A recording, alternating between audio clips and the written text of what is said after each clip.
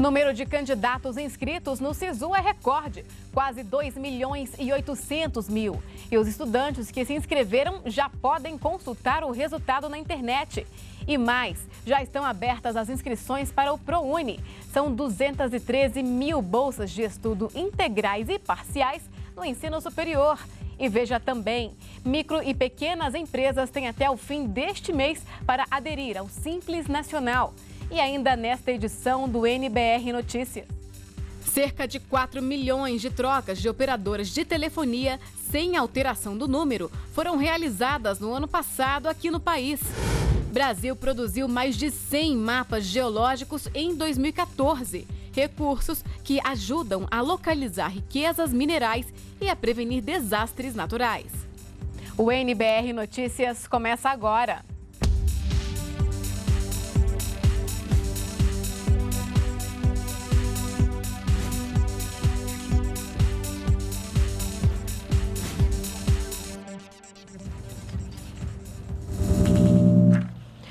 Olá, boa noite. O número de inscritos na primeira edição deste ano do SISU, o sistema que seleciona candidatos a vagas em instituições públicas de educação superior, bateu recorde. O resultado da seleção foi divulgado hoje e está disponível na internet. Mais de 2 milhões e 700 mil pessoas se inscreveram na primeira edição de 2015 do SISU, o Sistema de Seleção Unificada da Educação Superior quase 10% a mais do que o registrado na primeira seleção do ano passado. A região Nordeste foi a que teve o maior número de inscritos, cerca de 38% do total. A Universidade Federal do Ceará recebeu o maior número de inscrições, mais de 187 mil. O curso mais procurado foi o de administração, seguido de direito, pedagogia e medicina. 42% dos inscritos fizeram inscrição concorrendo pela lei de cotas. Os cursos são oferecidos em 517 municípios do país e a maioria dos inscritos tem entre 18 e 24 anos. Nós observamos também esse grande aumento eh, dos cursos, dando opção a qualquer jovem brasileiro em optar por mais de 5.600 cursos e 205 mil vagas em 128 instituições. É um avanço que vem sendo constante desde o lançamento eh, do processo, que mostra mais oportunidades para o jovem brasileiro, para suas famílias e é importante para o país também que essas vagas estão aí em áreas estratégicas uh, para o nosso desenvolvimento econômico e social. O resultado da primeira chamada da seleção já está disponível e pode ser consultado pelos candidatos a uma vaga na educação superior no site do SISU na internet. Os convocados devem fazer a matrícula nos dias 30 de janeiro e 2 e 3 de fevereiro. Os candidatos que não forem selecionados nessa primeira etapa devem ficar atentos ao cronograma. De hoje até o dia 6 de fevereiro, esses estudantes devem manifestar o interesse em participar da lista de espera no site do SISU. A convocação dos candidatos nessa lista vai ser feita pelas instituições de ensino a partir do dia 11 de fevereiro.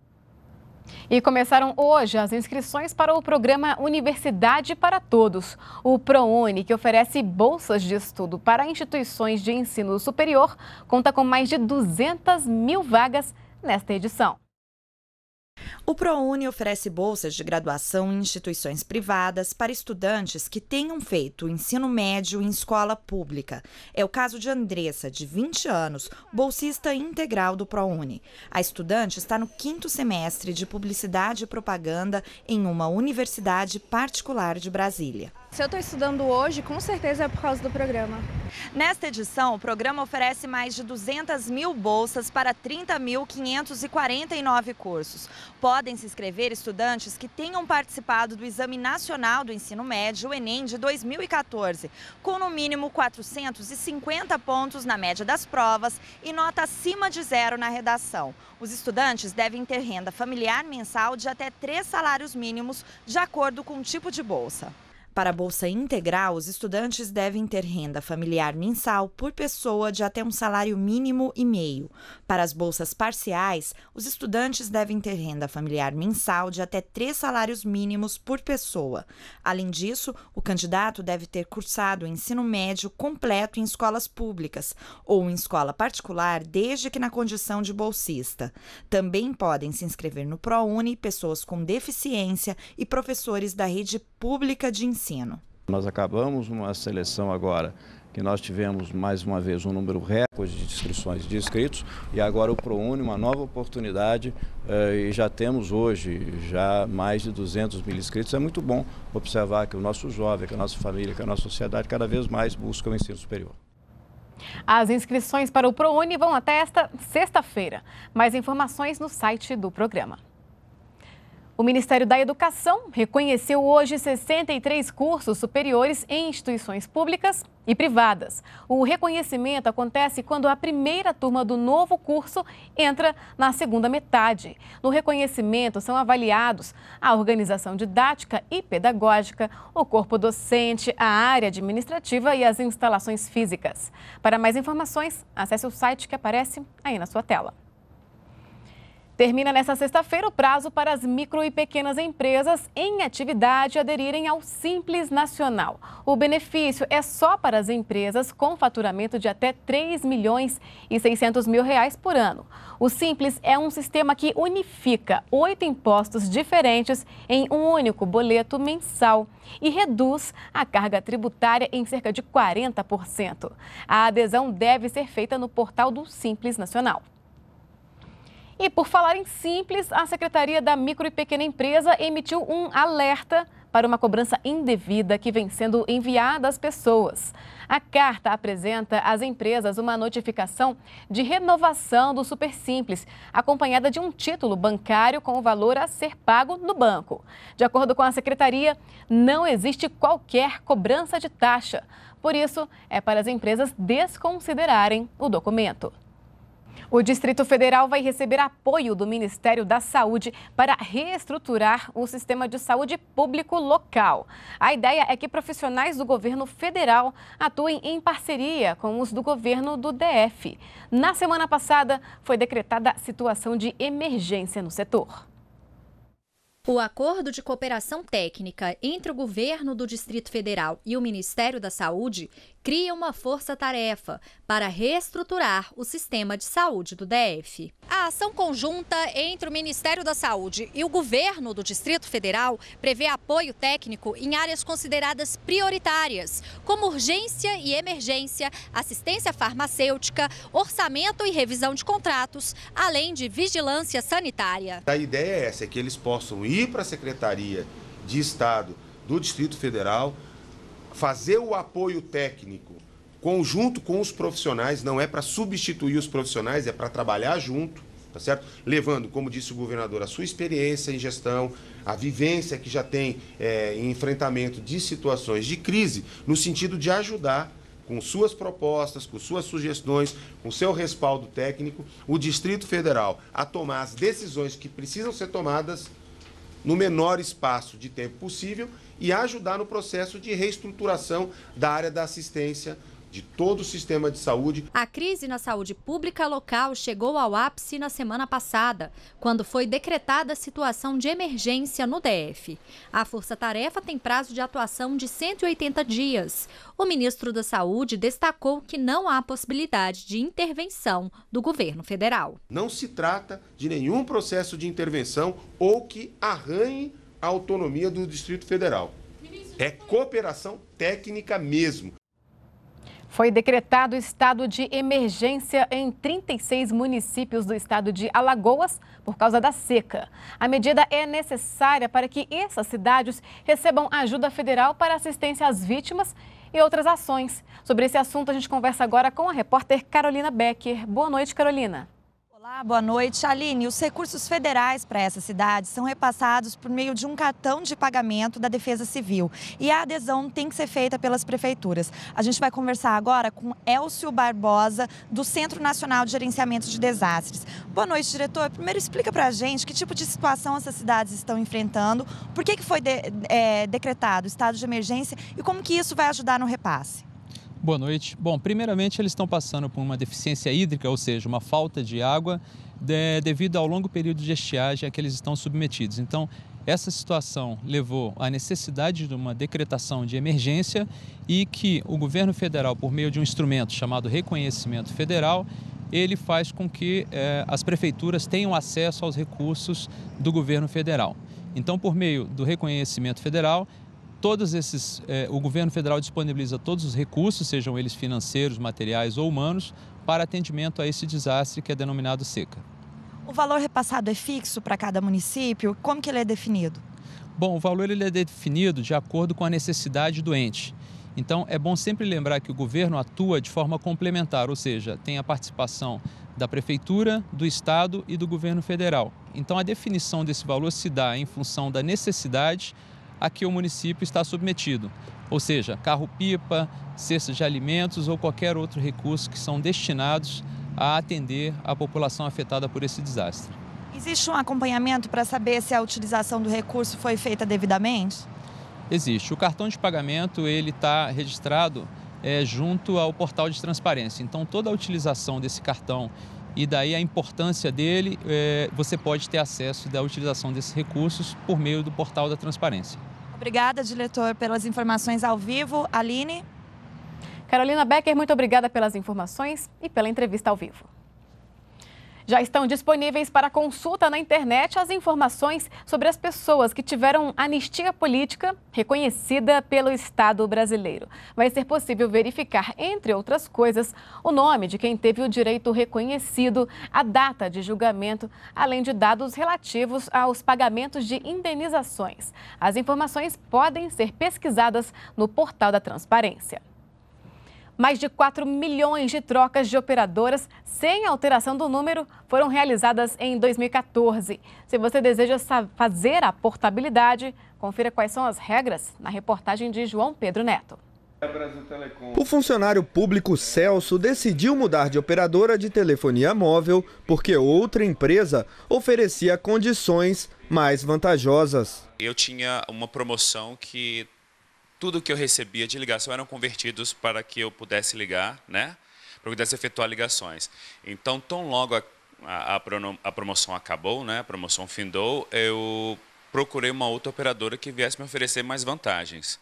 Então, eu optei pela portabilidade para uma outra operadora que veio me facilitar a vida assim, em ligações, né, em, em torpedos, SMS, etc. Depois de tomar a decisão, a migração aconteceu de forma rápida. Ele assinou com uma operadora nova, manteve o número antigo e, por enquanto, está satisfeito. Comigo foi super tranquilo.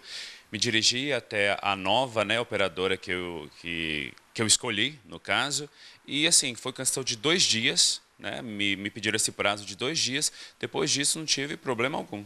Desde que a portabilidade numérica foi implantada no Brasil por determinação da Anatel entre 2008 e 2009, já foram realizadas mais de 26 milhões de migrações no país.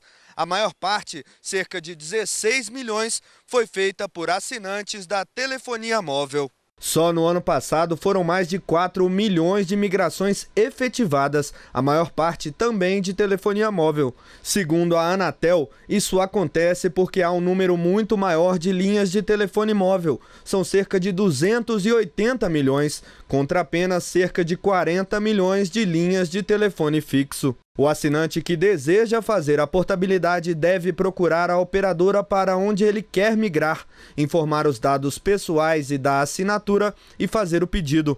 Pode ser cobrada uma taxa de até 4 reais.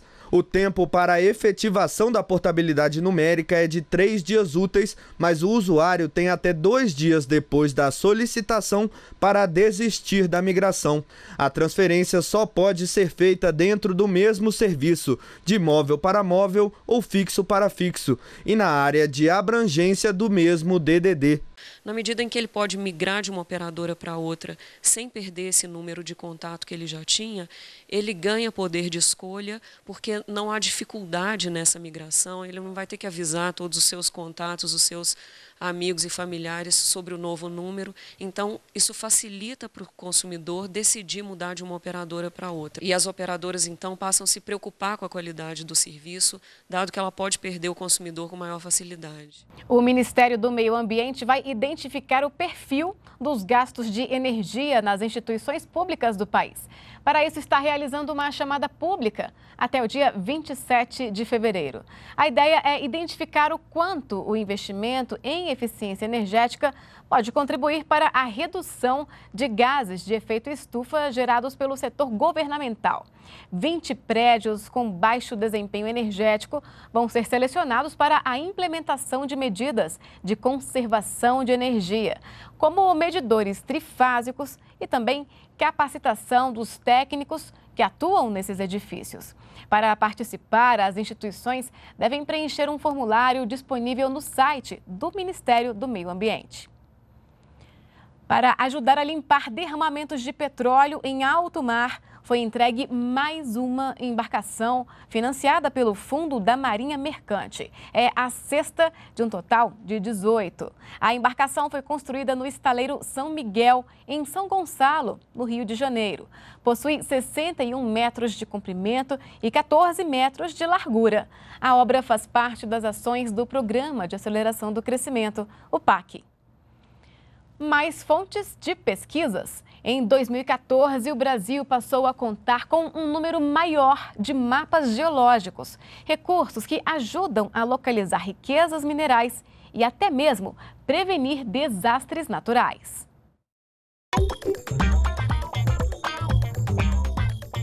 Os mapas geológicos podem ser usados por empresas de mineração que queiram saber onde existem mais chances de encontrar um determinado mineral.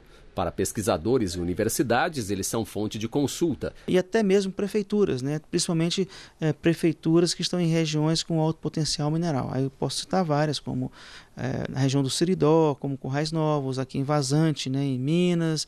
Fizemos também em Nova Chavantina, enfim, regiões que têm uma tradição mineira, é, querem atrair a pesquisa mineral, porque isso atrai também investimentos. Então ela também tem um interesse em conhecer melhor potencial da sua área. A produção de mapas geológicos faz parte do PAC, o Plano de Aceleração do Crescimento, já que os mapas também podem servir de base para obras de infraestrutura como estradas. Os mapas geológicos indicam o tipo de rocha que é encontrado em cada lugar.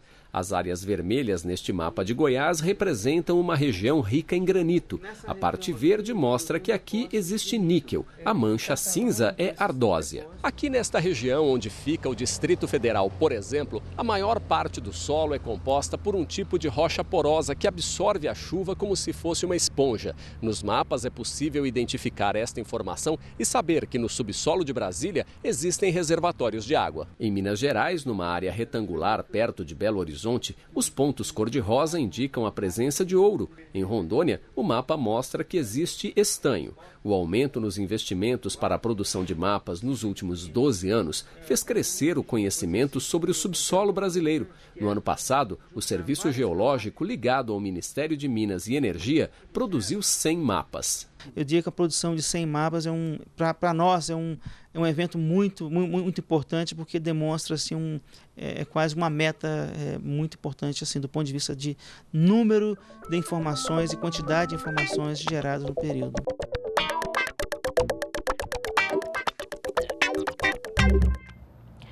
Foram divulgados hoje os dados coletados até o momento na investigação do acidente aéreo que matou o candidato à presidência Eduardo Campos e outras seis pessoas. De acordo com o Centro de Investigação e Prevenção de Acidentes Aeronáuticos, CENIPA, ainda não é possível saber as causas do acidente.